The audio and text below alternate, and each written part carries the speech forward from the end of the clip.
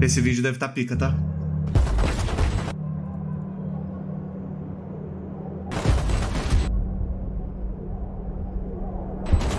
Quem é essa? Se tu não conhece, tu vai conhecer agora, tá? Não, mas que porra é essa? Mexendo no cubo mágico, porra! Na escuta. Temos que ver, inclusive.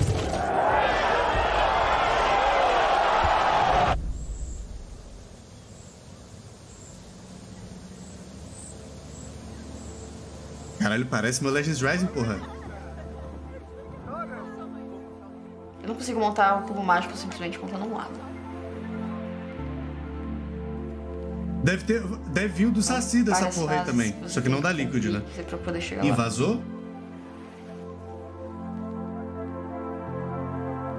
Seja arrumando uma pecinha, seja montando o lado inteiro, seja montando o cubo. Eu acho que são tudo um processo pra que ele fique perfeito.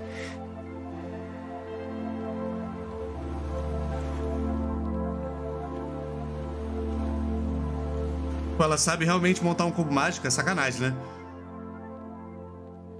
Na minha vida inteira eu sempre tive muito contato com o jogo.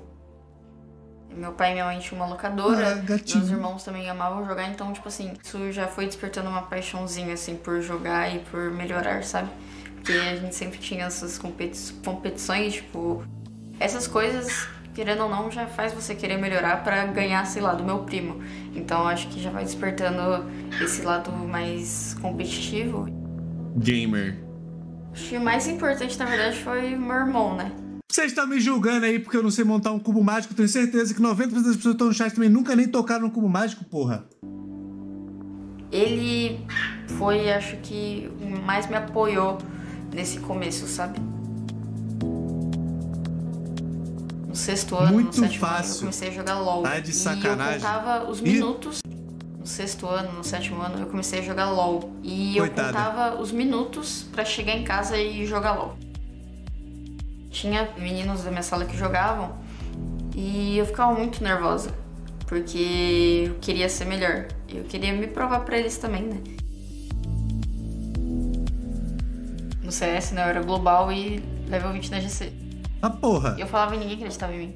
Eu não sei se era por- pelo fato de eu falar que eu era level 20 e global, ou se era pelo fato de eu ser uma mulher. Mas os moleques da minha sala Eu ficavam me zoando porque eu jogava em notebook. Acho que é importante citar que uma das coisas que me move é me provar. Não só pra esses moleques da minha sala, como pra qualquer outras pessoas que desacreditam, sabe? Pica, tá? No começo, quando eu ganhei o meu notebook, eu não tinha um lugar pra ficar, sabe? O único lugar era a mesa da cozinha. E então eu joguei na mesa da cozinha por muito tempo. Eu estudava, então eu chegava mais ou menos na hora que minha mãe chegava do trabalho também. Então ela já ia fazer comida e tudo mais, e meus amigos conseguiam escutar tudo. Às vezes minha mãe tava fazendo comida, ela pedia pra eu cortar alho. Tanto que isso virou uma piada pros meus amigos. Eles ficavam perguntando se eu já tinha cortado o alho. que pica. Antes Raiz, de raiz. vir pro Valorant, eu jogava CS. Eu acho que por eu ser muito nova e ser muito ingênua, eu nunca consegui de fato ingressar no competitivo. Eu sempre queria melhorar e tudo mais, só que eu não sabia como virar profissional. Tipo, esse lado de se tornar uma carreira pra mim era muito difícil. Eu acho que eu conseguia ver em outras pessoas, mas em relação a mim, eu acho que era Nova. A Dyke tem. Dezes- 17? 18? Ou 17 ou 18 anos, tá? 17 anos! Basta ler. 17 anos e duas vezes a melhor pro player do Brasil. E você aí não consegue nem cortar porra de um alho. Era um pouco mais difícil, eu não sabia como chegar lá, sabe? Teve a hora também que o Fallen chegou e falei, mãe, o Fallen me chamou pra fazer tal coisa. Ela. Quem que é Fallen? resolvi fazer um projeto pequeno para Esse cara é incentivar pica, tá? a molecada jovem lá do Brasil a aprender um pouquinho. E aí eu tive a ideia de chamar alguma pessoa do cenário feminino também, de dar chance para alguma garota. E muitas pessoas comentaram ah, o nome da Dyke. E aí eu a convidei para vir participar. E assim, foi muito legal porque ela se dedicou desde o primeiro dia. Ela estava muito afim de jogar, ela estava mostrando seu talento, estava afim de aprender. E deu a perceber ali já que ela era especial. Com isso, ajudou bastante naquele profissional que eu queria tanto que eu não estava conseguindo. Me ajudou muito. Tipo, muitos times e muitas meninas começaram a me notar e começou a ter essa relevância que antes não tinha e que antes eu queria, mas eu não sabia como conseguir. A pandemia foi o que fez eu começar a jogar, né? Então foi uma coisa que, querendo ou não, ajudou na minha vida profissional. Eu me afastei bastante dos meus amigos, mas acho que isso foi inevitável por causa da pandemia. A gente não estava se falando tanto. Foi uma época muito difícil porque estava todo mundo isolado. Mas o que me salvou bastante foi poder jogar e conversava com eles pela internet também. Dezembro do ano passado foi um boom na minha vida porque realmente foi aquilo, né? Eu me tornei uma profissional. Se eu conseguir em tão pouco tempo, e não foi à toa, eram meninas muito boas no cenário e tudo mais, eu falei, eu não posso perder essa oportunidade. Caralho, produções milionárias, tá? Que porra é essa? Sabe? Pra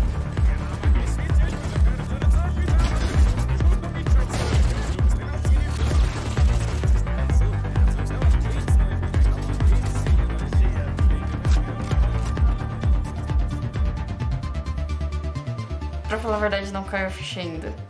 Talvez algum dia caia, mas não caiu. Acho que caiu por alguns micros de segundo quando eu tava no palco com o prêmio na mão.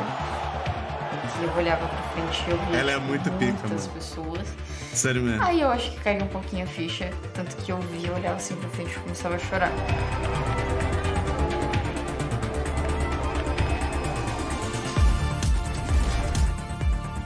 Uma coisa que eu fiquei muito feliz, que muita gente percebeu, é quando eu consegui o top 2 da ranqueada brasileira, né?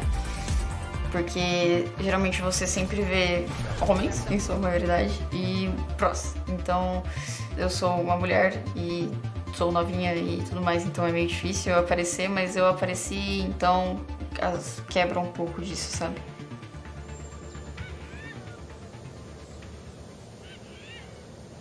E muita gente comentou, muita gente ficou feliz por mim, muita gente ficou Aí, na moral, a mina tem 17 anos, tá falando mais parada na moral aqui, vocês aí fazendo graça. Mas mais de 20 e tantos fazendo graça, seus filhos da puta. Que porra é essa? Tipo, Esquisitos. caramba, ela conseguiu chegar lá, eu também consigo. O cenário de- feminino de Valorant, ele reuniu muitas meninas de vários lugares.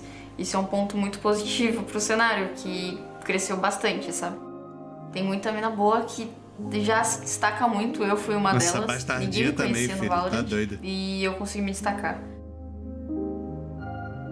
Esse sentimento que eu quero passar para as outras pessoas, esse sentimento de que elas também podem, sabe? Eu acho que a Dyke já é um grande exemplo para muitos e muitas garotas do Brasil, principalmente pelo fato de que ela tá jogando para uma organização tão importante como a Team Liquid.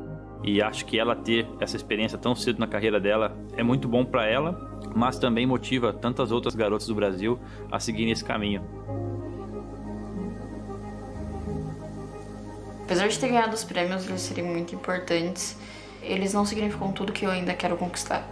Eles são, obviamente, muito grandes e muito importantes, mas isso é um pouco do que eu quero atingir ainda. Então, isso só mostrou que, na verdade, eu tô no caminho certo.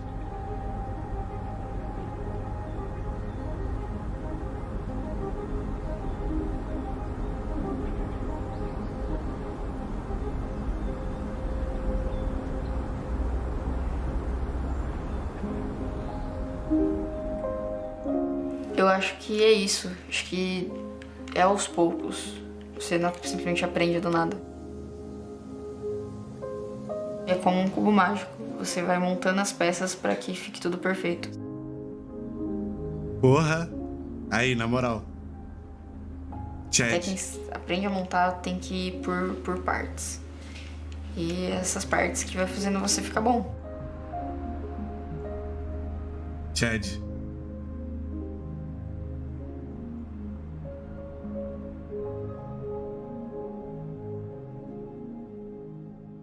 Vocês querendo ver porra de bastidor de CBLOL, vai tomar no cu, porra. Olha essa porra, mano. Olha esse documentário, mano. Cara, ô, produção sinistra, tá? A história da Dyke também é muito da hora. Sinistra, sinistra. Irado, irado. Adorei, adorei. Gostei. Vou trazer mais vídeos assim pra live, inclusive, tá? Quando saiu do Saci, a gente assiste do Saci também. Pô, a gente viu. A gente viu. O, o da Loud, né? De, de Valorant, mano. O da Loud Valorant também foi bem da hora, né?